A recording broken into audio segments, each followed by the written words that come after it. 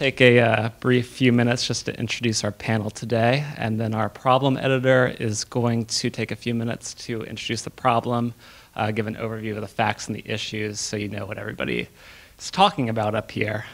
Um, for our Chief Justice, we have Judge Griffith from the DC Circuit. He was appointed to the United States Court of Appeals in June of 2005. Uh, he graduated undergrad from Brigham Young University and then graduated law school from UVA Law.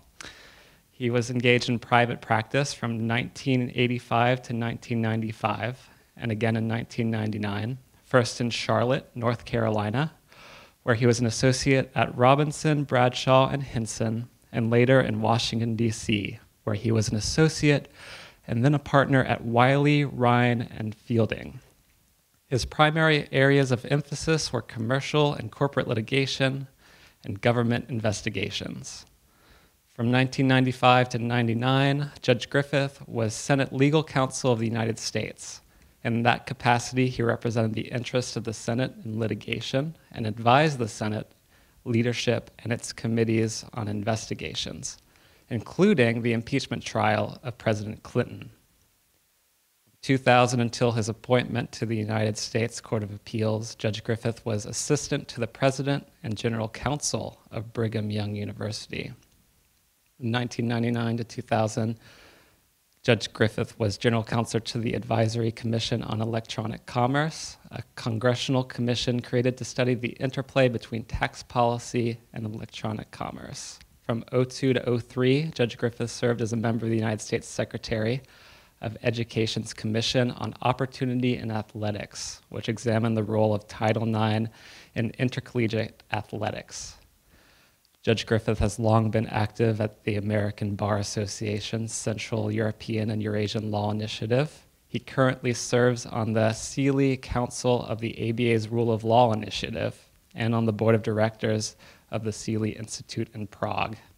Since joining the court, Judge Griffith has taught courses on presidential powers and judicial process at the Brigham Young University Law School and on the role of Article 3 judges at Stanford Law School. So that's our chief judge. To his right will be uh, Judge Pamela Reeves from the Eastern District of Tennessee. She graduated cum laude from uh, the University of Tennessee with a Bachelor of Arts in 1976. Then she received a Juris Doctor in 1979 from the George C. Taylor College of Law at the University of Tennessee. From 1979 to 1985, she worked as an associate at the law firm of Griffin, Burkhalter, Cooper, and Reeves, and from 1985 to 87 as an associate at Morrison, Morrison, Tyree, and Dickinson. From 87 to 02, she worked at the law firm of Watson, Hollow, and Reeves, and then formed the law firm of Reeves, Herbert, and Anderson in Knoxville. From, 2000, from 1998 to 1999, she served as the first woman president of the Tennessee Bar Association. She served as the secretary of the Knoxville Bar Association, the president of the Knoxville Barristers, and the president of the TBA, that's the Tennessee Bar Association, Young Lawyers Division. She was elected as a national trustee of the American Inns of Court Foundation and has also served as five years as the chair of the Knoxville Election Commission.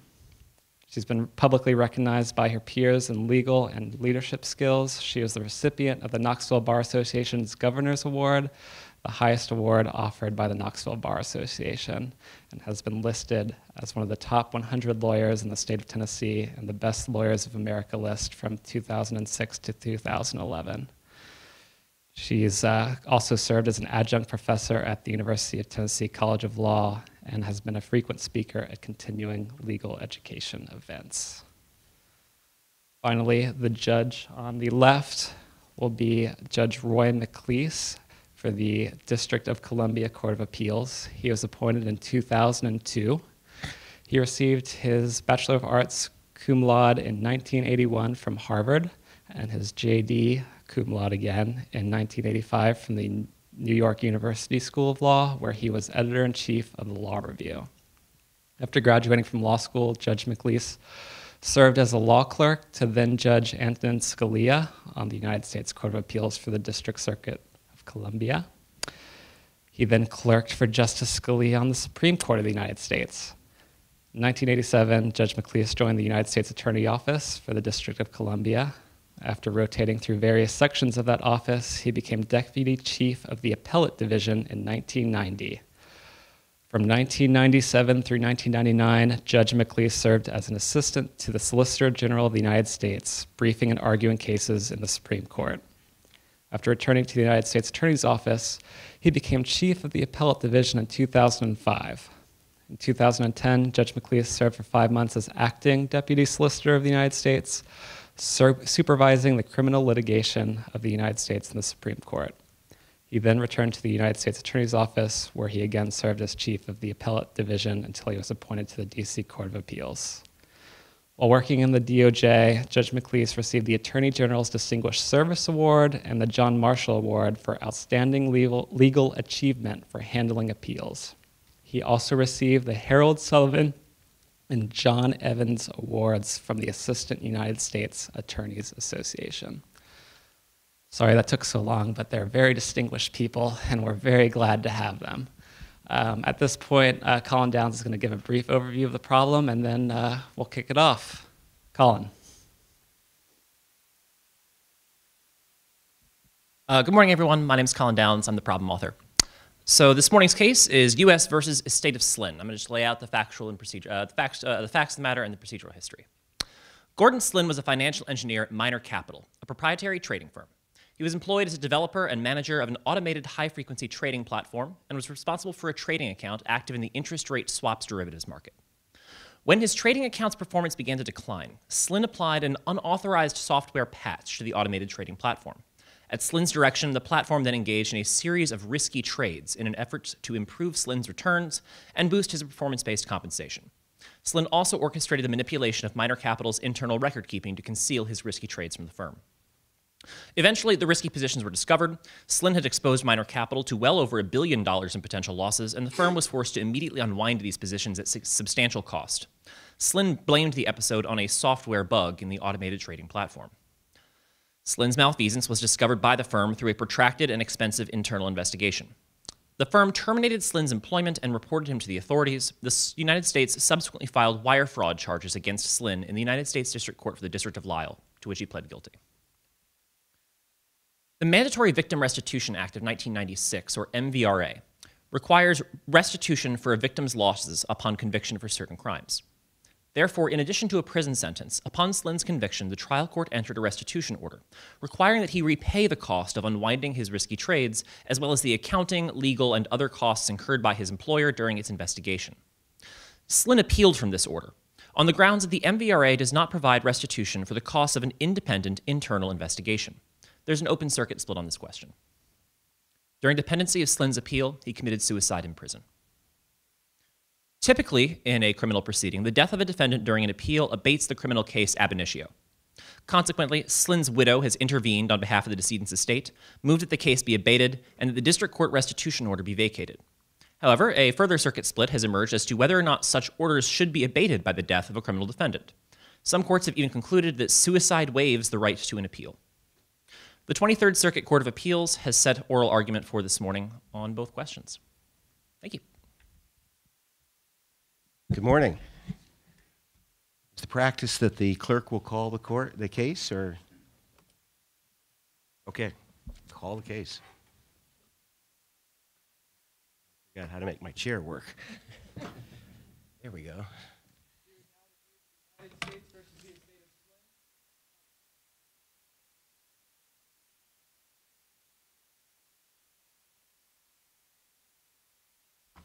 Good morning. Good morning, Chief Judge, Your Honors, and may it please the Court. I am Nate Bilhartz, and I am co-counsel for the appellant, the estate of Gordon Slinn. I will be arguing that the criminal restitution order abated when Mr. Slinn died during the pendency of his appeal. Then my colleague, Trevor Lovell, will argue that the $2.3 million in costs incurred in the course of an internal investigation are not recoverable under the MVRA. I'd like to reserve three minutes for rebuttal. Before I begin, would you like a brief statement of the facts? I think, I think they're well put in the brief, so press ahead. Neither Mr. Slynn nor his estate gained anything from the conduct that led to these proceedings. Mr. Slynn applied the unauthorized software patch in an effort to restore his professional reputation and to regain lost I, profits. I don't have that much familiarity with uh, derivatives and, and, and this sort of work. How, how was he compensated? I didn't, I didn't understand that. Well, he was compensated based on the profitability of his various trading accounts. Now, the trading account in Was, question, it wasn't the number of trades or anything of that nature. It was just the profitability of the trades. Uh, Your Honor, the number of trades would certainly have been associated with his overall compensation. His compensation was reduced after, at the end of 2013, uh, by which time his fully automated trading platform had lost a significant portion of the profits And, that it had and again, what is an interest rate swap for a derivative? I, I don't know that. Uh, well, Your Honor, I'm not an expert on this matter either, but uh, what we're discussing today is the result of his application of the unauthorized software patch to the trading platform and his uh, subsequent termination from minor capital as a result.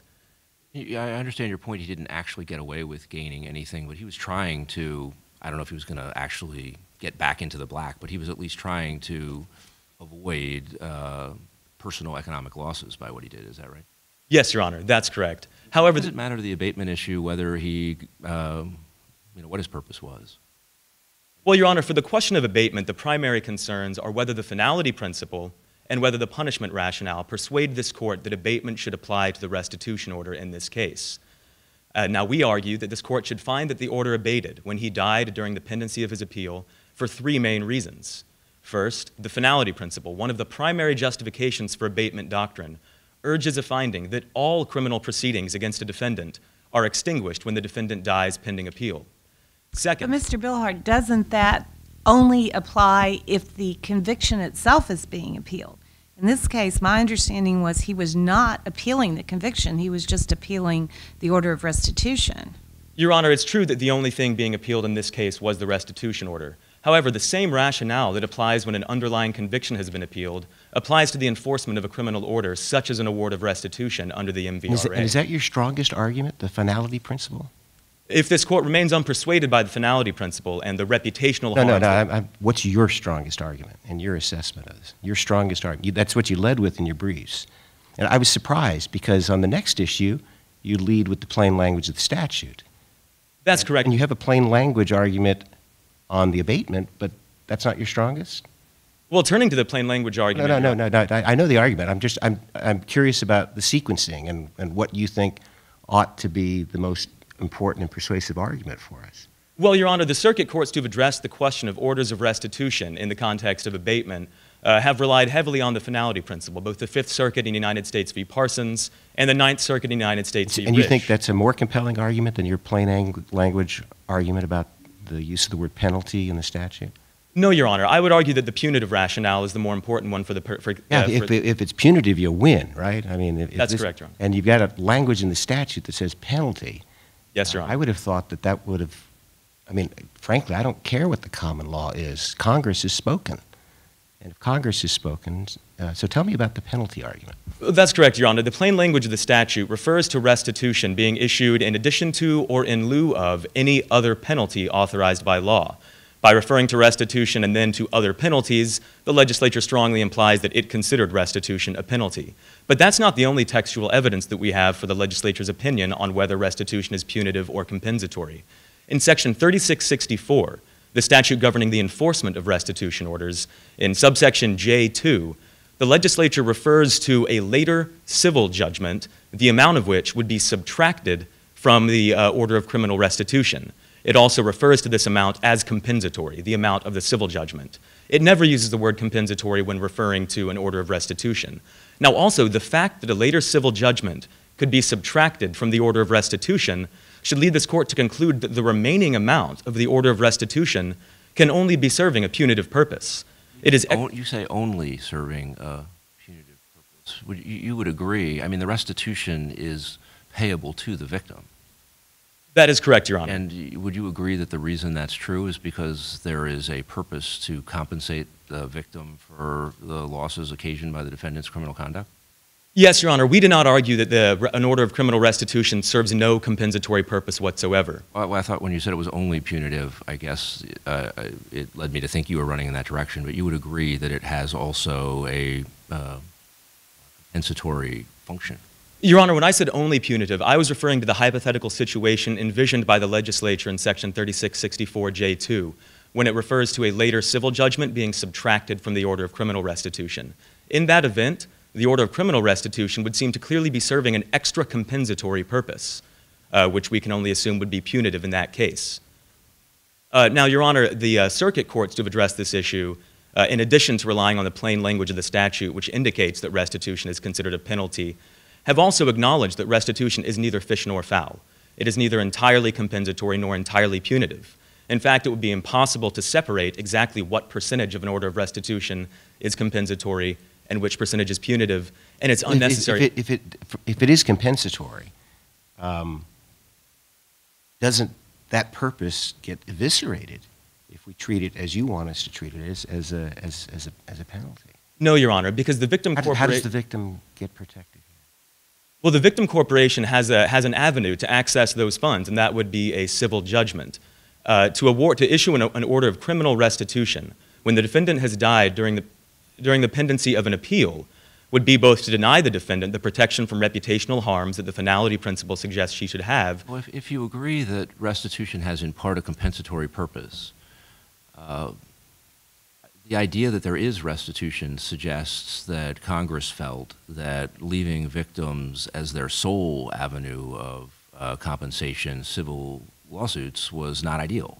And it was intended to be, uh, you agree, uh, a streamlined way. One of its purposes was to be a streamlined way for victims to be able to get compensation more quickly without having to go through civil litigation.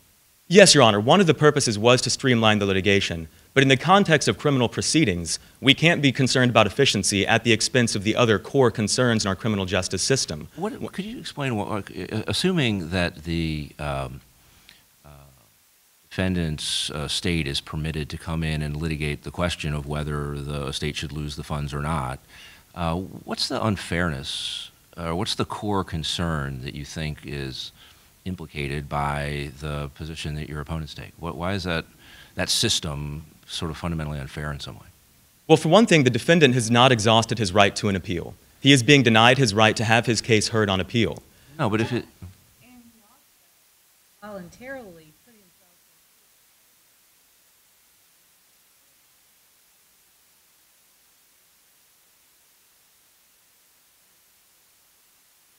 Your Honor, Appellee's contention that a, a failure to carve out an exception for suicide in abatement doctrine, uh, because without such an exception, defendants such as Mr. Slynn might be encouraged to commit suicide in order to secure a windfall to their estate, uh, frankly flies in the face of everything that we know about suicide.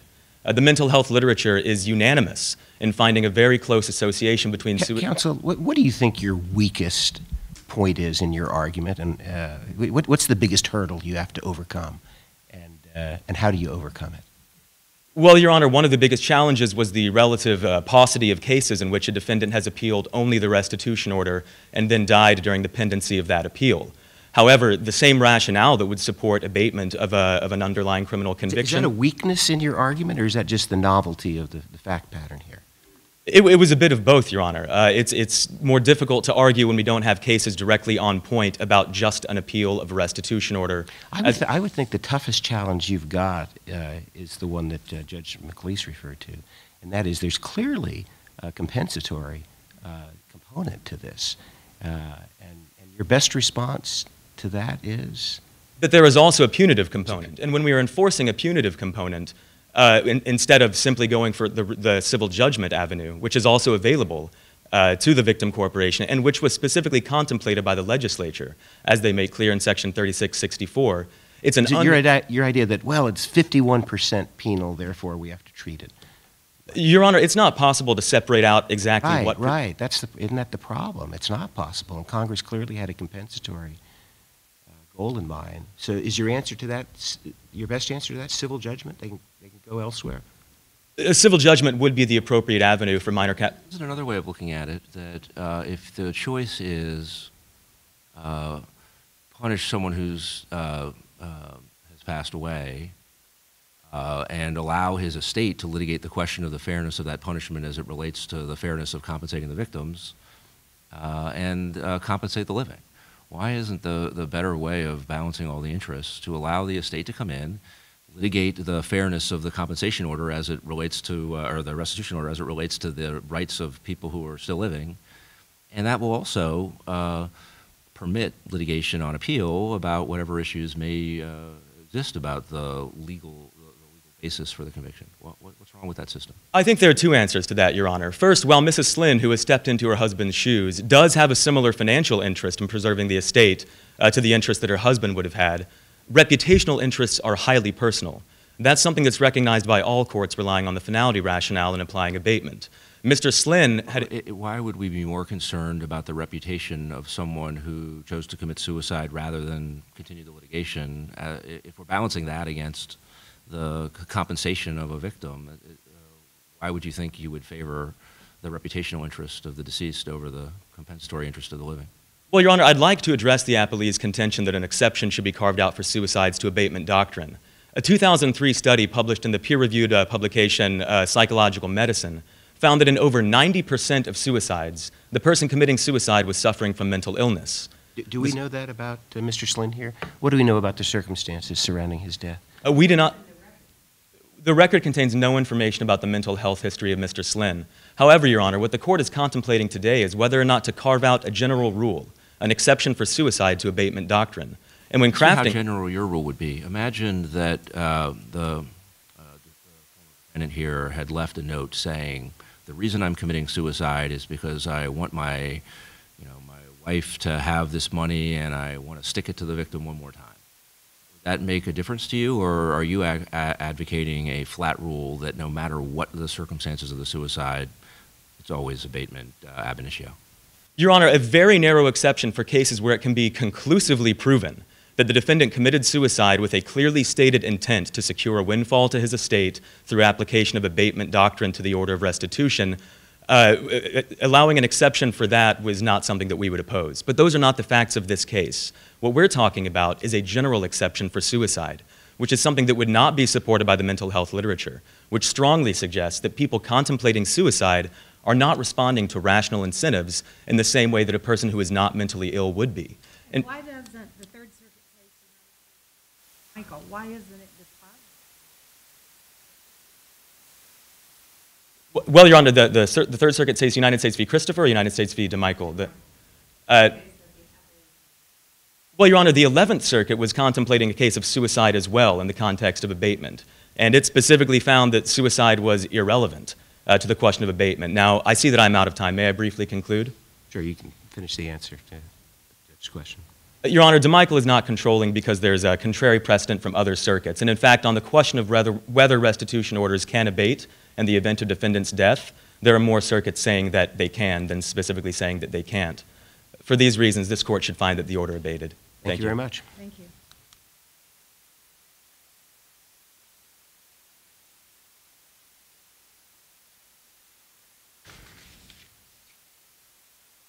Morning. Morning.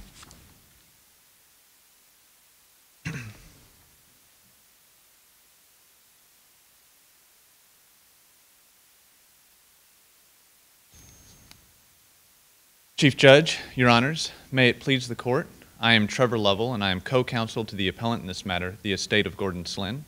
I will be arguing that the district court below erred by including $2.3 million in its restitution order related to investigatory expenses incurred by minor capital, the victim of the crime, under the Mandatory Victim Restitution Act, Title 18, Section 3663A-B4, which I will refer to as Section B4. Let me ask you a factual question. Um, Everyone agrees that it took $8.5 million to undo the damage Mr. Slynn had done. Uh, But, but what was the damage and why did it cost them eight $8.5 million to fix? I didn't quite understand that.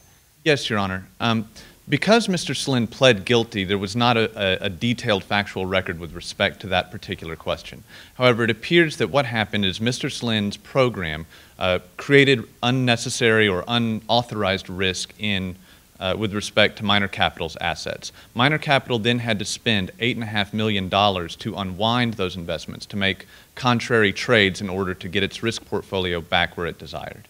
And that's what I'm getting at. We don't know what that means. We just know that they spent $8.5 million to, to It's fix not it? made clear. Presumably, it was something to the effect of uh, they may have lost on those trades, um, having to make the trades to get back to their original position. And what about the appellee's position that the, nothing in the record that supports the reason?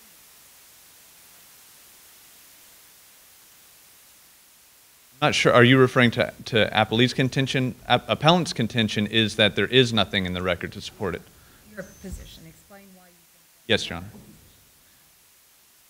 Because the court below did not investigate whatsoever whether or not these costs were necessary, as it had an obligation to do, especially provided that Mr. Slynn contested the $2.3 million, the court clearly erred by including the entire amount, the full $2.3 million, without asking a single question about whether those costs actually met the statutory language that requires those to be necessarily incurred in order for the, for the victim to participate in the investigation. Is it your view that necessary is being used in its very strong sense of absolutely essential, or in its sometimes uh, weaker sense, like in the necessary and proper clause of reasonable and appropriate? What's your What's your view about how Most that like- should be understood? Most likely, Your Honor, necessary would take on the, the weaker of the two. And it's simply not necessary to decide that question because even under the sort of uh, broader interpretation of the word necessary, the district court below simply did nothing to look into the necessity of these expenses. So even if this court does not agree with the appellant's interpretation of the law, the court clearly erred and the decision must be reversed and remanded. How many circuits have looked at this issue? At the uh, question of the, the legal interpretation? Right, right, uh, yeah. Yes, Your Honor. Um, a number of circuit courts have done so. Um, I believe it is six circuits. And only one has taken the view that you're urging us? Yes, Your Honor. So, so you're asking us to, uh, to follow the DC Circuit? Yes, Your Honor. Now, generally, that's a good move. Uh, But, uh, but, but where, but where, where in the plain language of the statute does it say that the gov, that the investigation must be a government investigation? Your Honor, there are a number of indications, if you read Section B4 as a whole, there are a number of indications that Congress was attempting to limit the scope of Section B4 and only anticipated that official investigations would be covered. One of the But let's start with the most obvious point. They didn't say official investigation, did they? that is correct, Your Honor. A lot of trouble could That's have a been problem. saved. That's a Yes. pro, I mean, that's a problem for your argument, right? Yes, Your Honor. Okay. However, if we look at the end of the provision, it says uh, the investigation or prosecution of the offense. Now, the offense is clearly a crime. We're in Title 18, and furthermore, the MVRA only applies to criminal convictions. So, what we're talking about when we talk about an investigation and a prosecution is the criminal investigation, the criminal prosecution. Now, private parties To be clear, if, if the um, way this had begun, instead of the company doing its internal investigation and self-reporting, is that the SEC had found out about it and had started a civil investigation, and the company had been uh, drawn into that investigation and had uh, generated expenses in connection with that investigation, your view is those would not be compensable under this provision because that was not, at the time, a criminal investigation? I see, Your Honor. That question was actually addressed by the Southern District of New York in United States v. Gupta. Now, while the Second Circuit precedent does hold that all internal investigations are covered um, by Section B4, it was dealing there with the, a, a joint SEC and FBI investigation. And it said to the extent that there was uh, government uh, participation and overlap between the two investigations, that, that, that it was indistinguishable effectively which part should be included as And, and, uh, and is your position that you agree with that aspect of the Second Circuit, so it's not required that the investigation be criminal in character as long as it is official? I think, Your Honor, that's just a much closer case that would be a little bit harder to distinguish out. And it- your position with respect to that case? my position would be that it's still an official investigation and probably something that Congress was anticipating would be covered.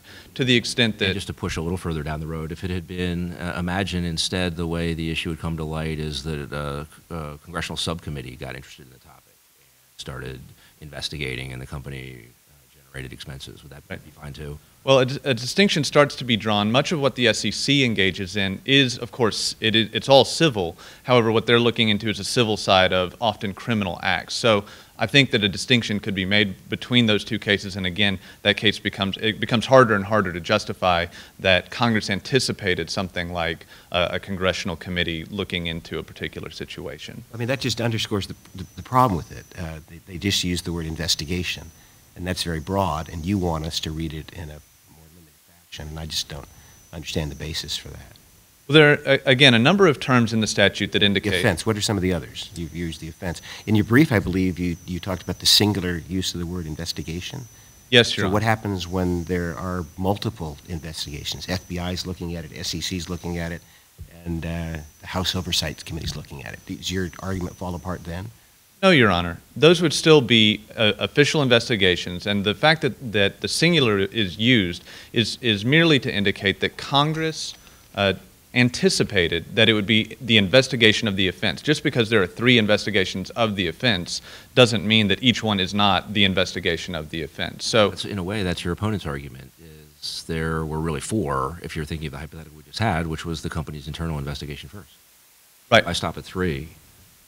Again, Your Honor, some of the uh, uh, additional limiting language within the statute itself indicates that um, what Congress is anticipating was official investigations and not private elective investigations. If we think about the implications of Appellee's position, in fact, they're even described in the brief, we're asking this court, Appleby rather, is asking this court to read the statute to, to encourage and incentivize private parties to engage in vigilante investigation of criminal acts. See, vigil- vigilante is a pretty strong term. I, uh, Especially in this case where it led to a clear determination that there has been. Yes, Your Honor, but again, this court is going to craft a rule, an interpretation of Section B4. Now, the Mandatory Victim Restitution Act does not just cover wire fraud cases like this one, where an investigation might be relatively safe. It also covers crimes of violence and property crimes. So, if this court adopts a rule that Section B4 was designed to incentivize victims of crimes to go and investigate. The, the appellee uses the word outsource in its brief. Outsource the investigations of crimes to private parties, and not only private parties, but aggrieved victims of crimes. That would, that would seem, one, a fairly irresponsible policy on the part of Congress, and uh, uh, it, it, it's a difficult burden to argue that interpreting the statute the way your opponents say it should be interpreted will have drastic, unacceptable consequences if five circuits have adopted the, that interpretation, and at least as far as anybody can tell, we, we haven't, uh, this guy hasn't been following in those circuits. Um, Your Honors, I would argue that the, uh, it, the logic of those decisions simply falls down to the extent that, that or the, and furthermore, that the logic of A- Appellee's argument falls down in the face of looking at the entire statute rather than looking merely at its application to a white collar crime situation and looking at how the rule would have to be applied in other contexts, whether those, those uh, incentives. Let's talk about this case. You used the word, I'm struck by your use of the word vigilante. Is that what happened in this case? Do you think the investigation Minor Capital undertook was that of a vigilante? No, Your Honors. It's In this case, here, it right? seems. I mean, it was they- they did the right thing here. That's what we want people to do, isn't it? Yes, Your Honors. We do want, want uh, Minor Capital and parties in, in Minor Capital's position to do so. And of course, they will probably do so whether or not the Mandatory Victim Restitution Act is in place. Minor Capital had a fiduciary duty to look into how these trades got made, how these positions were taken. I'm sorry, Your Honor? No, I was agreeing with you, yeah.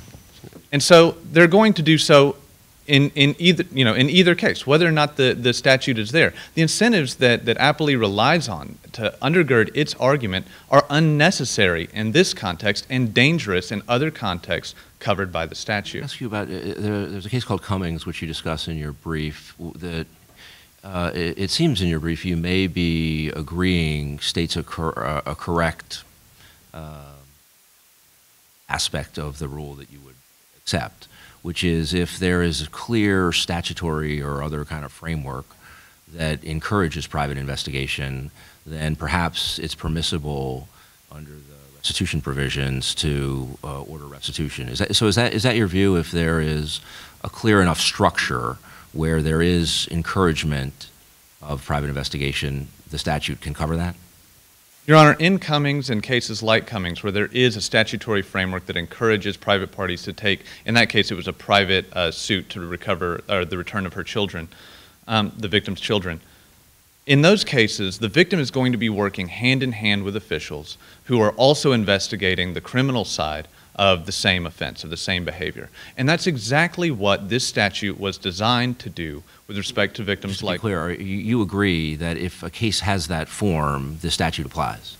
Yes, Your Honor. If, if there is a clear statutory framework, and furthermore, what that framework is doing is creating an environment in which official investigators and private citizens are pursuing are pursuing essentially an overlapping investigation that is the same investigation. That's exactly. So is that, um, uh, one could argue, I, I mean, I don't know what the magic of statutory is. I think it's, uh, you know, the Department of Justice has published guidelines about how, when it decides to prosecute corporations and when it doesn't. And a component of those guidelines, what it says to the corporations is, if you don't want to be held criminally prosecuted as a corporation, which is a death knell for a corporation, here's what you need to do. When you find out there's criminal activity by people, or potentially criminal, act, uh, criminal activity by your employees, you need to investigate it. You need to self-report. You need to give us the information so that we can figure out what to do. And so it's, I, I think it's, uh, may not be statutory, but there's a pretty well-structured system of encouragement of precisely what the company did here. Yes, Your Honor, except that what the company should have done, if it wanted to be covered under the Mandatory Victim Restitution Act, was allowed federal investigators, federal officials, to be in the driver's seat in order to determine the, the propriety of a criminal How did they go investigation. to the federal- Oh, we think somebody in our office.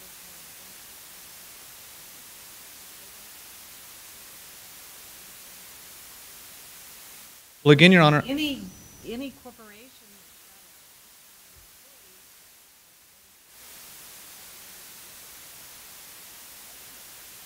I think that Congress has already balanced out those policy incentives, and it has looked at the situation where if it has an overbroad scope to Section B4, again, we get an, a, a situation that we don't want. We have, we have effectively vigilante investigation by private parties. On the other hand, if it's drawn too narrowly, certain costs may not be recoverable by some victims. But it's important to remember that the Mandatory Victim Restitution Act extends a benefit to victims. It's not taking anything away from them simply because the, the scope of the statute is narrowly tailored to situations where Congress wants to take the discretion away from the court and order that the restitution be provided um, with, without regard to equitable considerations and equitable defenses.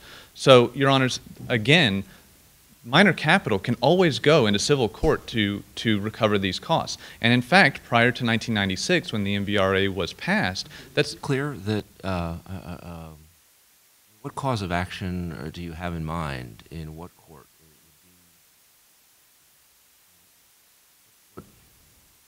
What's the, uh, could you tell me what you think the structure of that cause of action would be that would allow them to recover this kind of investigative expense? Uh, yes, Your Honor, I see my time is up. Go ahead. Um, in that case, what a, a party like Minor Capital would argue is that as a consequence of the crime, the fraud committed against it, a, a direct and foreseeable consequence of that was the expenditure of the um, of the 2.3 million dollars in investigation costs. And if we look at some of the other court precedents that are cited in the brief at pages 14 through 17, those are the kinds of actions that um, the Eighth Circuit in Akbani, for example, contemplated um, Section B1 of the MVRA covering. If you look at Section B1, it looks like an ordinary tort um, action to return property. Uh, Let me, I- know we're out of time, but I, uh, a question I want to ask you, and each of the uh, participants will see a pattern, each of the uh, advocates will see a pattern here. What do you think is your greatest hurdle to overcome in, in, in your argument, and how do you overcome it? I think Your Honor hit it from the very beginning. Uh, the fact that Congress simply did not put the word official in creates unnecessary ambiguity. Thank you, Your Honors. Okay, we'll hear from the United States.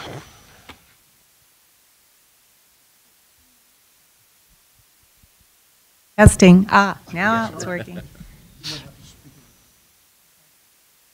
Morning. Good morning. May it please the court. My name is Brett Rector, and along with my co-counsel Rhett Ricard, I represent the appellee in this case, the United States government. I will address the threshold issue of abatement. The government is asking this panel to enforce the district court's restitution order for three reasons. First, restitution is a compensatory remedy and is thus not subject to the abatement doctrine.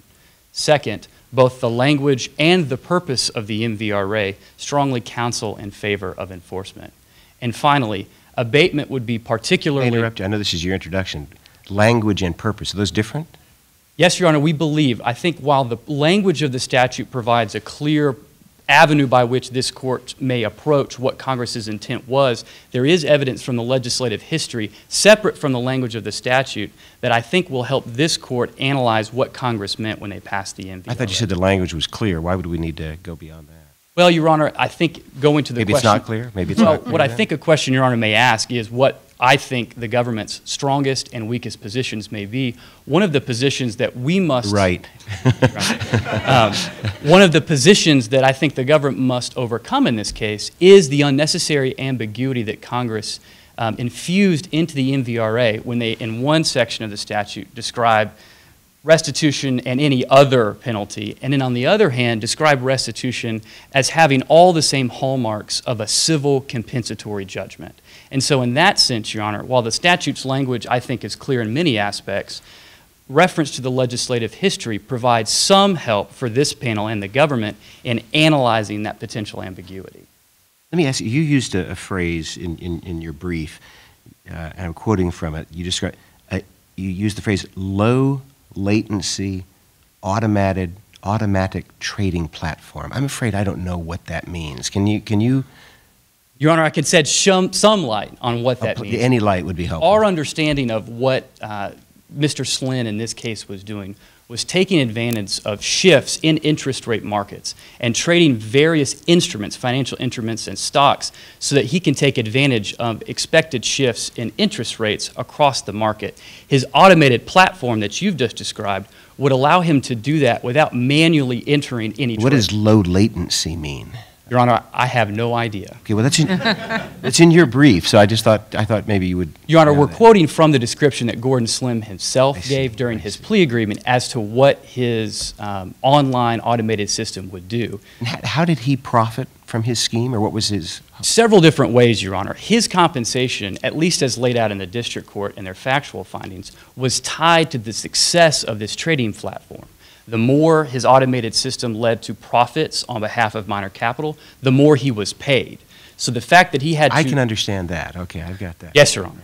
Um, s- moving back into the compensatory purpose of restitution. you said you had three reasons, and I caught two of them. Uh, Yes, Your Honor. Have I think the, I think the third, chief judge interrupted him. I'm sorry. I Go just want to ahead. make Yeah, sure yeah, I, we yeah. uh, close Thank loop you, Your the Honor, for third. that. The third reason the government would suggest is abatement, at least in cases like this one, would be particularly unjust, where the defendant's voluntary, albeit tragic, suicide has effectively waived his right to appellate review. That would be our third point. Sir, your brief relies heavily on the fact that the, uh, the appeal dealt with, not with his conviction, but with just the reasonableness of the restitution amount.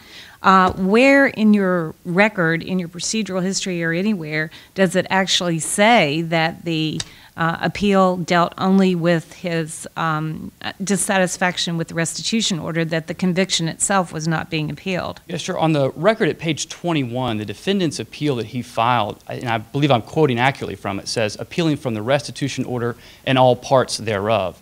Our understanding of the phrasing of that is that he keys up only the restitution order and the various issues related to that restitution order as issues for appellate review.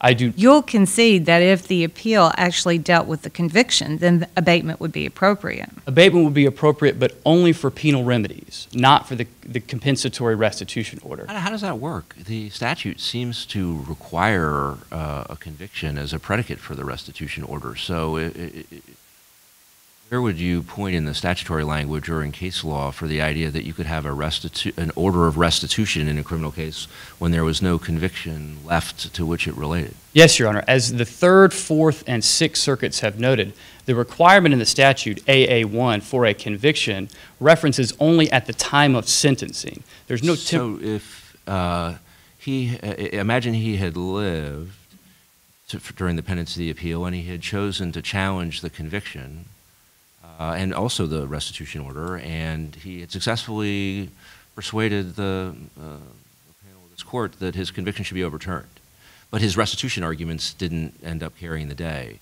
Yes, Your Honor. Your view that because at the time of the restitution order, there was a conviction, that the restitution order would stay in place even though the conviction had been reversed? Not at all, Your Honor. The requirement of the statute's language is that at the time of sentencing, the conviction be valid. In cases like Your Honor has just described, where he successfully appeals some error on the part of the trial court in entering the conviction, what the court, I think the appellate court would properly conclude is that at the time of sentencing, that conviction wasn't valid because of the error the appellate court found. That, I think, would reflect the proper interpretation of that particular section. It's only at the time of sentencing the conviction must be valid. If a subsequent appellate panel decides that that conviction was somehow entered in error, the statutory language would require abatement or at least reversal and vacation of the restitution order. But A little more complicated than just saying the only inquiry is whether there was a conviction in place at the time of sentencing. You're saying a conviction that uh, some later time is deemed valid?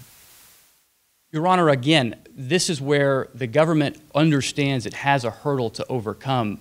But looking at the intent of Congress and the language that was used in the statute, it seems clear that the operation of abatement, which doesn't operate to erase a conviction become, uh, because of some error, needs to be treated differently than the operation of an appellate panel and actually declaring that there was some mistake on the part of the district court. ask you, you how far you, I know your third point, we're jumping around a little bit, I apologize for this, but you make the point about the uh, suicide. I- uh, Is it your view that in virtue of that uh, development, that there should be no abatement whatsoever, not just of the restitution order, but also of the underlying conviction? No, Your Honor. The government does not take what we would find to be an extreme position, that in cases of suicide, a conviction need not abate. Waiver Uh, of appeal, why does that waiver operate solely with respect to the restitutionary component of the sentence and not the underlying judgment? Your Honor, we think the case law remains relatively clear that even an exception for suicide certainly still must fall in consideration of the equitable principles at play as between a defendant and the government and the penal sanctions the government might impose. And what authority do you have that there should be an exception for suicide? I'm not talking about this warm and fuzzy, you know, articles about suicide and mental health. I want to know what legal authority we have to create that exception. Well, as you know, Your Honor, two panels of circuit courts, the 9th and the 11th, have considered such a suicide exception and have rejected them. However, we find that as this is an equitable principle, this court, in its equitable discretion, has the authority at common law to carve out such an exception if it finds that equity demands it. We would also point this court, those district courts who have been forced to apply the Ninth Circuit precedent in particular, this is United States versus Chong, have noted the great injustice that results from such a rule that does not account for the voluntary suicide of a defendant. In that sense, we think this court should take note of the effects of this case. The Why is it effect, more unjust? I mean, I understand your point that it's unjust altogether to um, restitution order that's intended uh, to be compensatory to be set aside just because the defendant has passed away. Why is it more unjust if the manner that the defendant passed away is suicide rather than by natural cause? Your Honor, merely the voluntary nature of suicide. We don't mean to address Do we have any reason to think that he was trying to avoid restitution here? Or that anyone would take their life to avoid restitution? Is there any evidence of that? No, there's not evidence, Honor. Certainly none in this record, right? There is none in the record before us, Your Honor. But again, we advocate. and now let's just talk about sort of common sense and life experience in general. Is there evidence that people take their lives to avoid restitution? That's a bit of a stretch, isn't it? Your Honor, I don't think it's as quite as much a stretch as you might uh, as you might think. Only because The of this- stretch, just not as much as I think. That's right. Okay. That's right, Your Honor. Okay. And um, I want to respectfully. I think it's a big stretch. Yes, Your Honor. And I would respectfully push back on that by using an example. Where we have no unjust enrichment in this case, in many cases, there are situations where a defendant has been unjustly enriched because of its criminal Sure. activity. 10, 15, So they're going to take their life. Well, if, let's say, for example, a defendant is facing a criminal sentence at an advanced age that would effectively end their life, if they are aware that their estate either A, has the opportunity to receive a windfall because of their unjust enrichment, or in cases like this one, You're avoid. talking about Bernie Madoff? Yes, Your Honor. Enron, Bernie Madoff, um, potentially Arthur Andersen. These are some of the examples that are cited in the literature that discusses such a suicide exception. It becomes even more prevalent when you start seeing restitution orders as large as the one in this case. We're talking $10.8 million for which the defendant's suicide would potentially uh, avoid any liability on the part of his family. I find How that do you say avoid any liability? There, there still is civil remedies. I understand they may or may not be equivalent, but I, I think it's a bit over uh, stated to suggest that there would be uh, like some sort of immunity or a way of completely evading. If you think it's a stretch that someone might kill himself or herself to avoid liability, it arguably is even more of a stretch when it's to make it more inconvenient for the Your Honor, there are two points to make to the issue of alternative civil remedies. Those remedies are both inadequate and inefficient.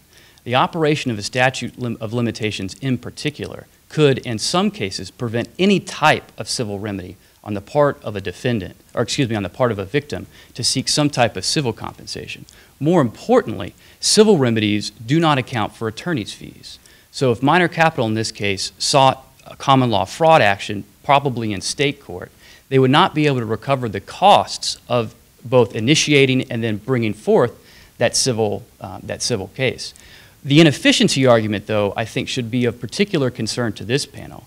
What we're saying with regards to an alternative civil remedy is that a separate court must decide the same factual issues already decided by the district court in this case.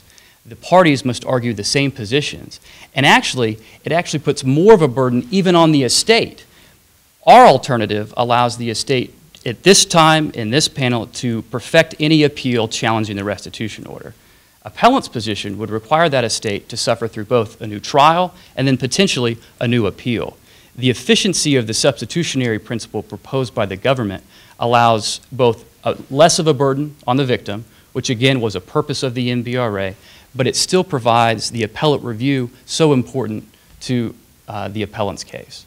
And I want to go back just briefly to the suicide concept.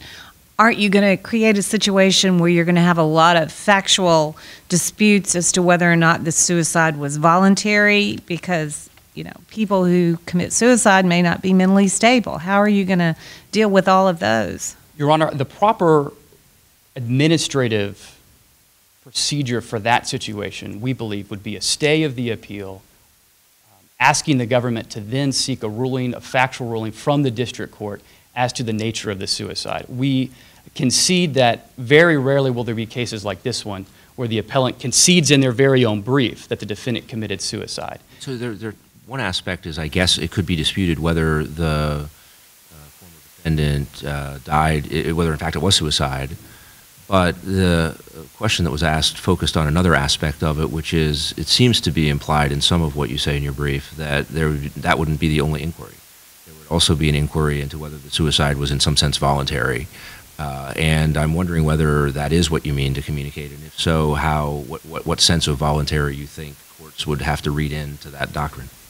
Your Honor, part of that reflects what would be the general rule as to what makes a suicide. The government's initial understanding of suicide encompasses a definition of voluntary.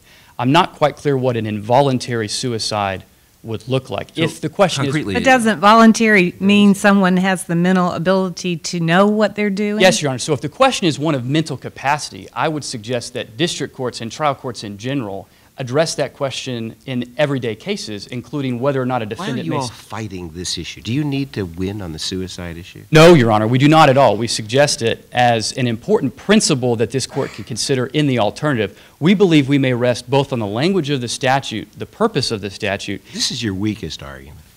I would agree, Your Honor. Okay, great. Uh, to move into what I would consider my strongest argument, however. okay, Um, again, looking at the language of the statute, and I think this is important, the language of the statute seems to provide, well, let me retract that and say that it seems to very clearly provide that the restitution order in this case becomes. I would suggest not using the word clearly here because it make it makes me feel bad if I don't see it clearly. Yes, Your I think it's a close call. So let me rephrase that and say it seems to provide that, it, that a restitution order would have the force and effect of a civil judgment. It imbues the restitution order here. It makes it heritable. It makes it assignable. It provides, as the Fourth Circuit noted, a property right in favor of defendant. It connects restitution orders with powerful civil collection remedies, things like joint and several liability, subrogation, collateral estoppel. More important, the appellant has suggested, I'm sorry, Your Honor, I see my time has ended. May I have leave to conclude? We would just believe in this case, Your Honor, that appellant has suggested that the doctrine of abatement ab initio extend far beyond its proper scope. In contrast, we think the nature of restitution, the purpose of the statute, and considerations of equity all demand enforcement. Thank you, Your Honor. Thank you very much.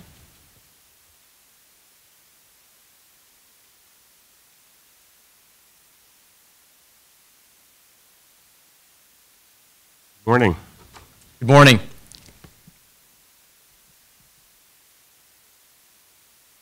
Good morning, and may it please the court. My name is Rhett Ricard, and I'm counsel for the government of the United States of America.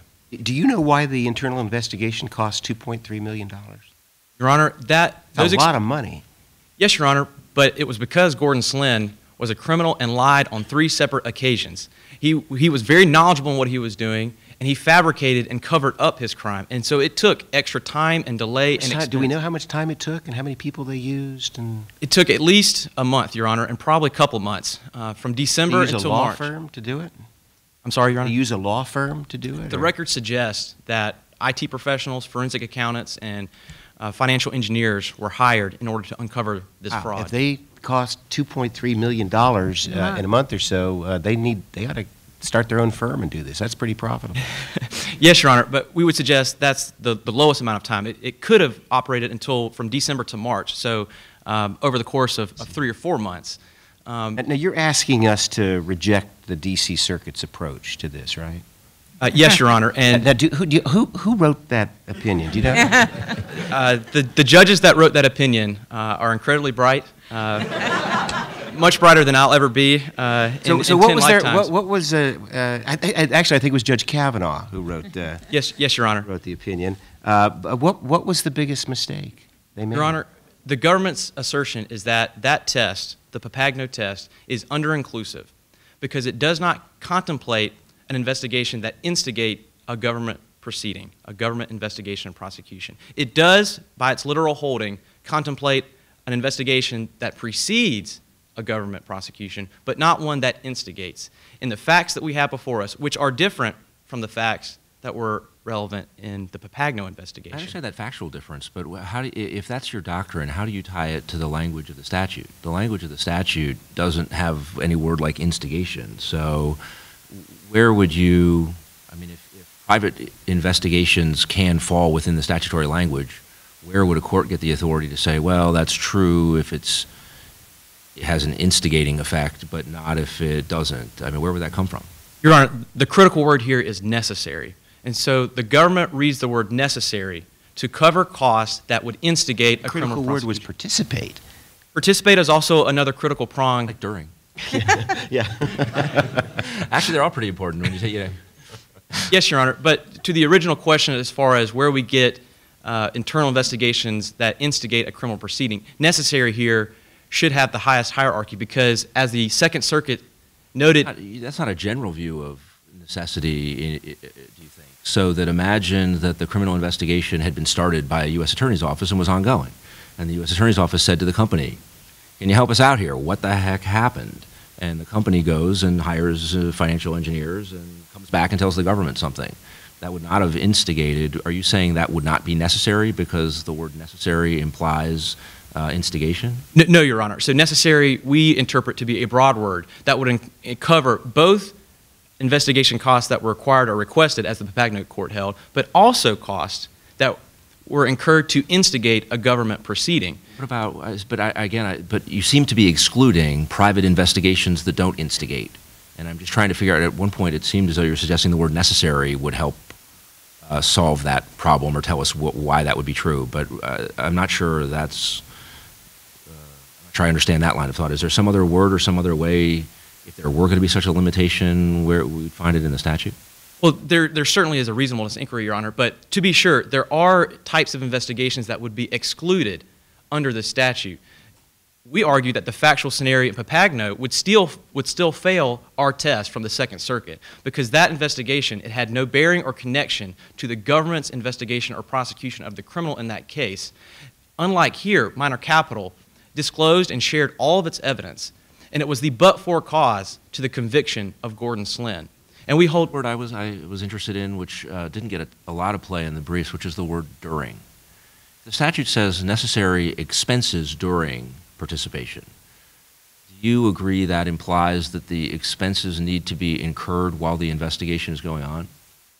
Your Honor, during is a very important word, but during the investigation, it should be viewed as a phrase. And as this court noted, the investigation should incorporate and encompass a variety of investigations. Very often, the federal government will have multiple investigations occurring. The SEC. So your way of parsing the statute as it applies to your facts is that the investigation uh, is the company's internal investigation. It, it inco- incorporates and encompasses a private victim's internal investigation, yes, Your Honor. But it also incorporates and encompasses multiple, often simultaneous government investigations from the SEC, the FBI, the DOJ, and it also may even encompass uh, state investigations. So if, if imagine that what had happened here was the company conducted an investigation exactly as happened, but it didn't do the right thing. It did the wrong thing, and it covered that investigation up. So there were a bunch of expenses that were generated, never communicated to the to the to the government, um, and then the government discovers the crime later, and the company says, "Wow, you know we," uh, and maybe the company doesn't even admit it until after the trial is over. Then the company comes in at sentencing and says, "You know what? We spent a lot of money figuring out what happened." Is the for purposes of whether there's restitution, do you agree that the investigation can be the company's internal? The investigation, yes, can be. But we would note, Your Honor, in that particular factual scenario that you just proposed, we would suggest the company shouldn't be worrying about restitution orders at that point. They should be worrying about vicarious liability because they would have let the criminal activity occur. Ag- Agreed with that, but I'm just wondering if the way you read the statute would allow the company to say, we meet the literal terms of the statute, that may also suggest that uh, there might be other ways of looking at. Your Honor, if there was a cover-up or if they didn't disclose or share affirmatively, they did not advance a government investigation or prosecution according to the Second Circuit's test, and we would still exclude those types of costs under the statute. The investigation, participation during the investigation or prosecution of the offense implies and suggests that any expense that goes to advancing a government investigation or prosecution should be afforded restitution under the statute. And But at what point are you going to cut that off? I mean, if you go back to the Papagno decision, it talks about, you know, the security guards during the Taylor Swift uh, concerts are participating, but certainly they are not actually performing. So how do you make the distinction as to where this gets cut off? Multiple arguments, Your Honor. Uh, first, there's a limitation in the advancement. So, hiring a security guard and, and posting them out in front of the corporate doors, or um, increasing your software checks that occur on a monthly or quarterly basis, those are all remedial items that shouldn't be covered because those don't go to advance a government investigation or prosecution. Any expense that does assist and participate uh, during an investigation should be afforded restitution. And it actually has to help. I mean, is, is, is it your view that there's a case by case inquiry, that there is actual assistance to the government? So, if in this case the government had said, when the company self reported, thanks, that's really interesting, but unbeknownst to you, we've had your guy under, you know, he's been uh, under our surveillance. We know all that. You didn't help us at all. You would say not necessary expenses because didn't trigger an investigation, didn't help the government in any way. It was completely duplicative of things. Your Honor, uh, yes, under certain factual scenarios, if there's any evidence, at least in part, The facts just the way I described them, would you say no restitution for the company or restitution for the company? No restitution for the company because they did not advance a government investigation or prosecution. It- but that's not the factual scenarios. I mean, the word is, are you reading that because of necessary or because of participate, or where are you getting the idea of advancement? Necessary, Your Honor. Uh, uh, again, the Second Circuit's test from Maynard and Amato suggests that we should interpret necessary to cover costs that advance a government's investigation or prosecution. And so anything that's shared and disclosed and advances and instigates and is used by the government should be afforded restitution. And so in the si- situation you just proposed, Your Honor, uh, those types of expenses would be excluded. We would also note So let me ask you the question I've asked everyone else. Okay, the biggest hurdle you have to overcome for us to, to side with you in your argument. What Yes, Your Honor, the, the, the critical key to the government's position under the second issue is how you interpret the investigation. We suggest it should be interpreted broadly But- but- because but let's, let's make sure we're on the same page. So you're saying there's a weakness in your argument there. What, what's the, eh, but, but you're going to tell me why I shouldn't worry about it. What's the weakness in your argument and why shouldn't I worry about it? because Congress has not explicitly stated what the investigation refers to.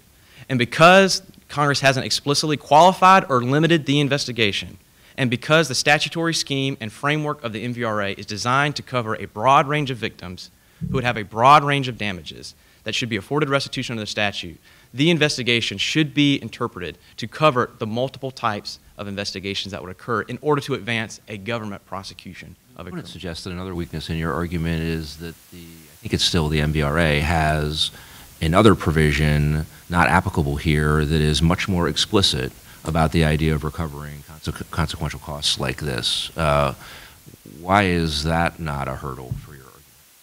Your Honor, it's a slight hurdle, but we would suggest that that argument relies on a weak inference based on congressional action in an, a separate section. And this textual canon is less convincing for a number of reasons here, especially less convincing for a number of reasons here, because that amendment was passed in 2008 in an entirely different act in two separate sections by two separate Congresses 12 years apart that dealt with two separate crimes. And so we would suggest that the comparativeness of these two provisions are different here. And secondly, Your Honor, just under a plain meaning approach, it requires reading subsection B4 to be read in isolation. And read in isolation, it covers internal investigation costs. Seemingly, as appellant has conceded on page 21 of their brief, as long as uh, internal investigation costs participate in the investigation, they're covered under the statute. And, and so we would rest on those arguments, Your Honor, to suggest this court shouldn't adopt that textual canon. How about uh, if uh, uh,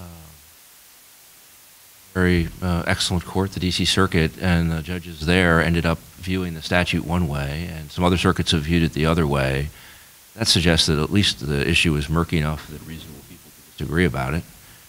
And if that's true, why doesn't the rule of lenity suggest that the version of the statute that's more favorable to the defendant? Your Honor, we suggest that the rule of lenity is inapplicable here because out of the seven circuits that have decided this issue, not one has found this statute to be ambiguous.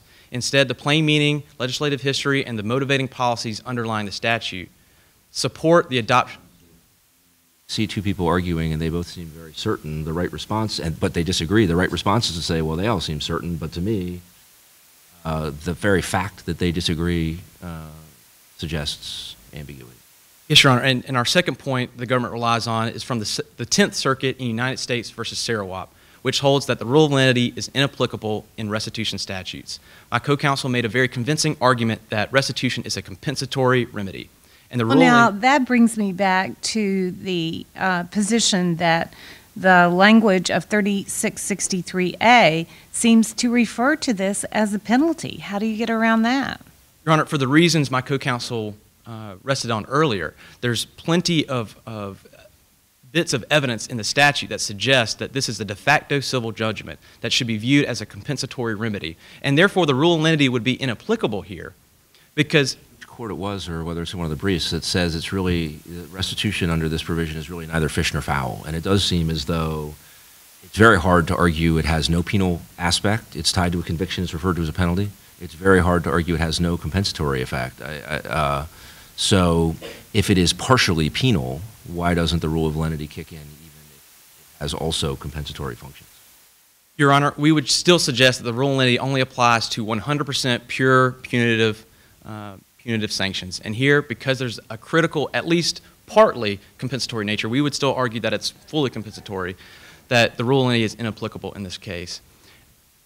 Turning to another subject that the government still believes should be uh, addressed by this court is the reasonableness inquiry. Appellant has requested this court to find the, the case and the record here to be uh, uh, to be not explicit enough and for it to be remanded. We would suggest to this court that first, that's a, que- a question of fact that was decided by the district court and which was found reasonable, and there's no evidence uh, that proposed by appellant to find that these uh, that this decision was clearly erroneous.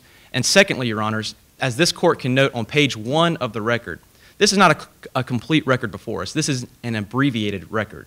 And so we would suggest that it's not appropriate to remand to the district court for a complete record. Instead, it's more appropriate to order a rebriefing and rehearing on a, this question of fact with a complete record before us because we don't have a complete record before us here. We only have an abbreviated record. And so Well, instead, any kind of a uh, restitution is going to occur during the sentencing hearing, and that's always very, uh, I mean, that's within the judge's discretion because there's never going to be actual on-the-record testimony about those kinds of things. So how are we ever going to know? Your Honor, but there's a there's a ton of physical and tangible evidence that could be before the district court judge that we don't have in our record, such as timesheets. As uh, the government mentioned earlier, financial engineers, IT professionals, these sorts of folks were hired, and presumably they have uh, cases and cases of uh, timesheets that would have afforded, and I see that my time is up. Uh, may the government take leave to make one final concluding remark. Uh, just to finish the last uh, answer, Your Honor, we would just suggest that there's uh, enough evidence available to the district court that we just don't have before us today in order to make a decision to remand. Uh, and for, for, the, for the foregoing reasons, Your Honors, the, the government would respectfully request the 23rd Circuit uh, to enforce the district court's restitution order in full and uh, provide for the $2.3 million in investigation costs that should be afforded to the victim in this case, Minor Capital. Thank you. Thank you very much. Does the appellant have time for rebuttal? Three minutes.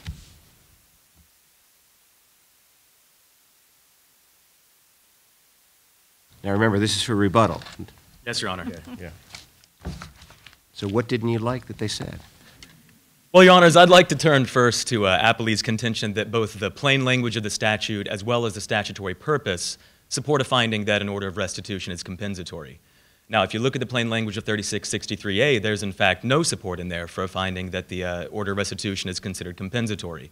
In fact, as we previously noted, it is specifically referred to as a penalty, and later on in section 3664, it does refer to a hypothetical later civil judgment as compensatory, while notably not ever using that word to refer to an order of criminal restitution. So the plain language of the statute strongly supports a finding that orders of restitution issued under that criminal statute are in fact punitive rather than compensatory. Again, you uh, want to suggest that it must be one or exclusion of the other. And if the restitution award is paid to the victim and measured by the injury to the victim, how do you argue it isn't at least to a degree, a significant degree, compensatory? Well, Your Honor, in fact, we did not argue that an order of restitution is entirely punitive. We acknowledge that there is a compensatory element. The amount paid in the order of restitution is tailored to the losses suffered by the victim. Now, in some cases of criminal restitution, courts have discretion as to what amount they're going to issue and to whether or not they're going to issue an order of restitution at all, which is further evidence that awards of criminal restitution are, uh, are not simply compensatory in character. But we can also look beyond the plain language of the statute here and look at the overall procedural posture. If this is purely about compensation for Minor Capital, if making the, the corporation whole is our only goal here, then why are there prosecutors in the room? Why would the United States be acting effectively as a private plaintiff's attorney for a corporation seeking to recover its lost funds? The United States government is not a collections agency with the goal of making the victim whole in this case. Well, It's- Congress has directed the United States government to take a lot of steps to try to protect the interests of uh, victims of crime. So, again, sure that the interests of victims of crime necessarily tells you that it is uh, entirely penal. Uh, Well, again, Your Honor, we do not argue that it is entirely punitive. Uh, the government does have some interest in making Minor Capital whole, but it also has an interest in imposing the imprimatur of state disapproval on the defendant for his misconduct. Now, I'd like to turn briefly to uh, my co counsel's uh, argument regarding the uh, award of, of uh, $2.3 million for investigation fees. Uh, the government is incorrect that necessary is the most important limiting term in Section B4. Uh, as your honors point out, Congress limited the scope by requiring the expenses be incurred during participation in the investigation. Now, Minor Capital was conducting an internal private investigation when it incurred these $2.3 million in fees. It was simply not participating in the eventual criminal investigation conducted by the United States government.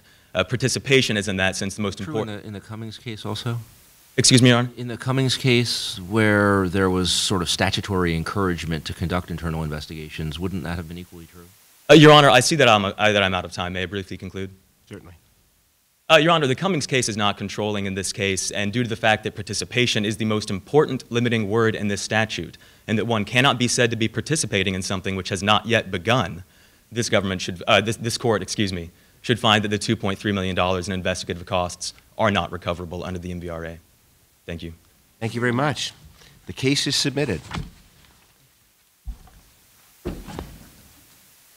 Well, as is typically the case, this is very difficult. Uh, but we uh, brought our golden coin along. And uh, no, uh, we want to say to, to uh, all the participants uh, what a great job they did. Now, am I supposed to announce the outcome first and then we give advice? Is that the idea? Yeah, let's do it that way. Because I know that's the, if I, we start giving advice now, no one's going to be listening. So, but I want to stress uh, uh, how difficult a decision uh, this was. We've been asked to come up with uh, three decisions uh, the best overall team, uh, the best brief, and the, the best oral argument. Um, and although it was a close call on each of these categories, um, in each one of them, we gave a very slight uh, nod, uh, but a win uh, to the appellants. So congratulations.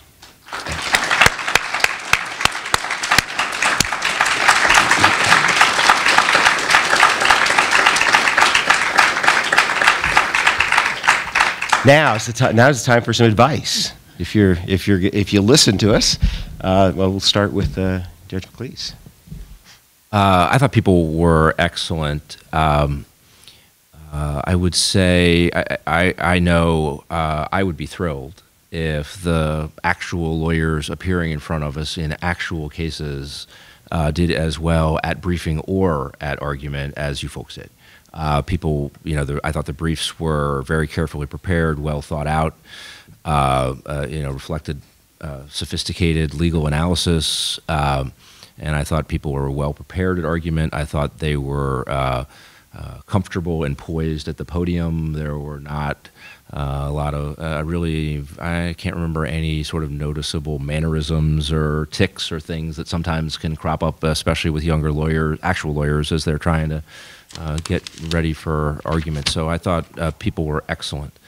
Um, I would say if I were going to give some more specific comments and focusing, I guess, oh, really both uh, one overarching comment about both argument and uh, the briefs is. Um, I would say the area of greatest improvement uh, thematically would be in uh, strategy and priority. Uh, I think there were, and, and, of course, reasonable people are always going to disagree about what arguments are stronger and what arguments you should put in what uh, form and in what order and in what length. Um, but both in the briefs and at argument, I thought there were you know plenty of occasions where the point made first wasn't necessarily the one that was strongest, or uh, and uh, that's harder. Again, with a brief, you have a lot more time to premeditate that. Uh, with argument, as you're preparing, you should be. I mean, that's part of preparation. Is if I'm thinking of a question, uh, what are the 17 things I could possibly say? Well, I'm not going to get all of those out. What are, what's the order of priority? What's the one that is really, where do I want to start? Um, and that's both with answering defensive questions and with thinking about what you're going to say when you stand up. Uh, which is what is the best argument? Uh, uh, Judge Griffith asked the question, which I used to hate as an advocate. I used to hate it, hate it, hate it. Which is it's also in interviews I, I never liked it. Which is like, what's your biggest weakness? What's the bad part of your argument? Because you feel like you're arguing against yourself, and it's a, it's a very challenging question for a litigant. Um, uh, but you want to think about like what are your objectives in your brief? What are your objectives at argument? And if there is, if you know the sticking point uh, is, let's say, if suicide, if you thought suicide, that's the hardest part of the case for me. Um, you want to think about uh, when am I going to get to that, and uh, uh, so it's time management also. Uh, it's very difficult when you stand up at a podium and people are firing questions at you. It's, it's hard enough to just answer the question, you know, stay on task, listen to the question, answer it. But to be thinking also, well, what else do I want to achieve at this argument? What are my affirmative goals? How do I get from here to there? That's very challenging and difficult even for experienced lawyers to do. But I would say that's if, if I were giving you advice about things that I would try to focus on, I would be trying to focus on more strategically, thinking more, what are, why, what am I saying first? Is that what I want to be leading with? And at argument, uh, think if you're going to be up for a half hour, you would think if you made a list of three objectives, just three thoughts you want to get out at the argument, it would be easy. You would always be able to do that. And if you have a hot bench, it's actually really challenging to even do that. People keep firing questions in you, and it's very hard to juggle just being in that moment with some sort of strategy. But you want to try to work towards that and work towards. Uh, there are techniques that you can learn uh, and practice about how to achieve affirmative objectives in argument and how to get, even when you're answering questions, how to control the flow of it. Second, I mentioned one. So um, uh, you're in an area of the argument where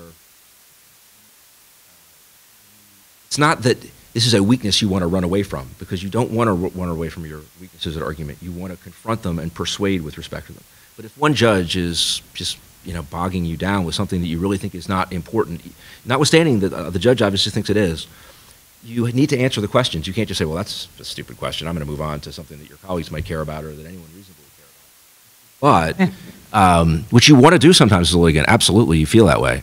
Um, what you can do is after answering the question, you don't have to stop and look that judge in the eye and pause and say, "Thank you, sir. May I have another?" Uh, you can, without a break, just start shifting to what you want to affirmatively achieve. And so there are techniques that you can work on to try to get greater control over getting, making sure you get your affirmative points out. But overall, I would say, again, I thought people did uh, an excellent job. They had thought out, you know, we came up with some hypotheticals that maybe were a little bit new, but a lot of the questions people had thought out. Okay, where am I going to draw my lines? How am I going to defend them? Uh, so there seemed there had been a lot of careful thought ahead of time, and people generally answered questions pretty directly at the front end. There were a few times when we needed to push a little bit, but generally I thought people did that, which judges really like. Um, so I, I, it was very impressive. I think people did a great job. Uh, great, and I, I concur in everything uh, Judge McLeese said, and we'll, uh, we'll, we'll, we'll, add some. It, it, it, really is, is true that uh, even at the D.C. Circuit, we rarely see arguments as uh, poised as we're given today. It really. Uh, uh, just uh, yesterday, what's today? Saturday. Friday. Yeah, Saturday. Today's Saturday. Today's Saturday. it was thir- Thursday. We had a, a very high profile case uh, in our court involving a challenge to the, uh, the, the, administration's climate change initiative and had some of the finest lawyers in the country. Professor Tribe argued in front of us, and it was a delight. And I'm, t- I'm, I'm not exaggerating this was this this was of a piece with that. You all did an excellent excellent job, and uh, if if if this is something you want to keep doing professionally, I would encourage you. Uh, to do it. I hope none of you will become transactional lawyers. Uh, so, so, now, just a couple of uh, uh, bits of advice, uh, and, and I, I was obviously trying to make a point by asking you all that, that question about what's the weakest point in your case. Now, I would be careful about uh, taking that as a template for uh, every time you argue a case. I'm not certain I'd get up and say the first thing, you know, Your Honor, look, I know my problem is X, and, but you need to be keeping that in mind. And that's, I mean, that's advice that I heard given by one of the best uh, uh appellate advocates of our generation, uh, the Chief Justice. when, he, when he speaks about appellate advocacy, that's a point he makes over and over again, that what he wants to hear is he wants to hear some candid acknowledgement that there is a problem with your, if there is one. Maybe there aren't no problems with it, because it, it, it increases your credibility in the eyes of the judge. Uh, we know you're zealous advocates. We know you've got clients out there, and you have to say things to please the client. But at least for this judge, if, if you appear in front of me, I'm looking for a super law clerk out there. That's what I'm really looking for. I'm looking for someone to help me think through this case. And that's a tough role for you to play both. Uh, to be the officer of the court trying to help me think through a tough issue and be a zealous advocate for your client. Uh, and not many do that, that, do that well, but strive for that. And that's what the purpose of that, that repeated question was. And I thought, I thought you did, all did very, very well with it. Um, um, next bit, uh, the facts. I was trying to ask a couple of facts questions. It's tough, and it, because you really don't have much of a record, and, and, and that, a lot of those questions that we asked you were unfair because it's not in the record. But I would make the point facts are incredibly important. Uh, once again, if, if, an, if an advocate comes and shows that he or she has command of the facts, I'm going to be willing to trust you more than if you don't. And I'm looking for someone I could trust here, right? So it establishes credibility. There's another reason to get the facts right. These are real people. Their cases matter. Uh, things happened to them. They did things. The court deserves to need, need deserves or should should know, and they deserve to be heard. Uh, what happened uh, there? Um, one thing I would suggest that you each of you work on a little bit. You all did it pretty well, but I think there's a little bit of room for improvement in it. Uh, but it comes only with experience, as far as I can tell, and that's to be, as far as you can, to be more conversational. Um, uh, you had lots of information, and it was great that you obviously had a command of the law. And by the way, when you're an advocate, for at least well, I, I shouldn't speak for my colleagues, you know the case better than I do. You know the law better than I. You've been living with it for a long time. I've been living with it for a while, but not as much as, as you have. So the big challenge is to take all that information you've got and to dumb it down, keep it simple, and make sure make sure that uh, that I understand it. And so the con- the conversational tone, to the extent that you can develop that, and and very few uh, uh, fellow advocates, at least that appear before me, do that. But strive strive strive for that, and that may require paring down a little bit, not trying to get so much information out, and, and just just being a little bit more uh, conversational. If I can I tell can I tell a story? Yeah, I'm the chief judge. I can I can do what I want. This is great. I love this. We're gonna stay here all day. I'm not gonna go back. Um, uh, uh, uh, one of my uh, heroes is a fellow that is uh, you may not recognize the name anymore. My colleagues will, but Rex Lee was the Solicitor General of the United States for a number of years, and I've heard a number of justices say they thought he was among the best, if not the best, advocate. So I'm going to tell you a story that from my time when I was here at UVA. So uh, uh, I knew Rex because we went to the same church in McLean. Didn't know him that well, uh, but I knew him, and um, I got my law review note published on a topic that it turned out he was going to be arguing the case. I sent him a copy of the note, rather thinking rather naively that may maybe I'd get a citation in the brief or something like that. It was silly. It was a bill of attainder case. Anyway, but he called me and invited me to be his guest at the Supreme Court. I had never been in any court before, and now I was going to be the guest of the Solicitor General. It was pretty cool. So I'm there, and um, I can remember thinking, I'm going to hear the great Rex Lee. This is awesome. He was petitioner. Uh, counsel, I mean, he, I'm sorry, he was respondent. Counsel for petitioner got up, and I, I can't remember the details of, of, the case or the argument.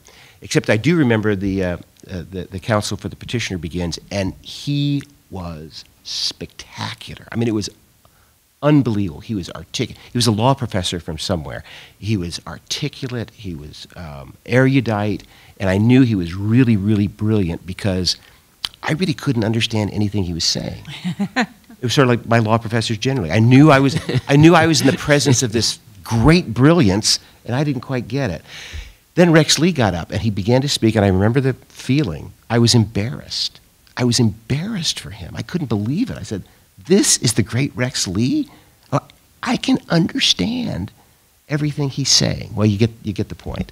Uh, um, that's greatness, is taking complex ideas and simplifying it, making it so a well educated high school student uh, can understand it. I, and I think, I think you all did that pretty well. Uh, but that's something to, to, to, strive for even more. Okay, uh, uh last two points. Uh, for me, uh, and this is going to cut, maybe cut against, oral advocates hate it when I say this. To me, it's primarily about the briefs. I'll tell you why. Um, it, I'm talking about in real life now, in real life now. Because in real life, it's not moot court, right? In real life, um, we don't decide a case based on how polished or poised uh, the advocates were. We're trying to get the right result based on the facts and the, and the law. And I get to spend more time with the brief than I do. So the, the thing that gets me the now I like the oral argument because I get to put a robe on, get out of chambers, and see some very talented uh, people. But at least for me, if, if, if, you had if you had and it's just my advice, if you had to spend more time on one thing than the other, it, you would be getting the brief right because the clerks are going to read the brief carefully. I'm going to read the brief carefully. I'm not going to have much time with you here. And besides, remember, you can't do anything here that's new.